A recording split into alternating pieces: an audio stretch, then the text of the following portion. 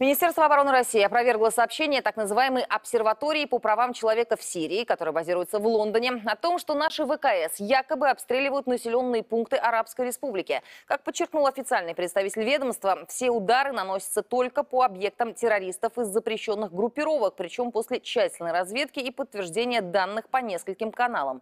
За последние сутки в провинции Идлиб были нанесены 10 ударов по объектам боевиков, уничтожены расположенные вдали от населенных пунктов базы террористов, склады боеприпасов и техника, которую они использовали в ходе атаки на позиции российской военной полиции на прошлой неделе. По всем вылетам, подчеркнули в Минобороны, есть данные объективного контроля.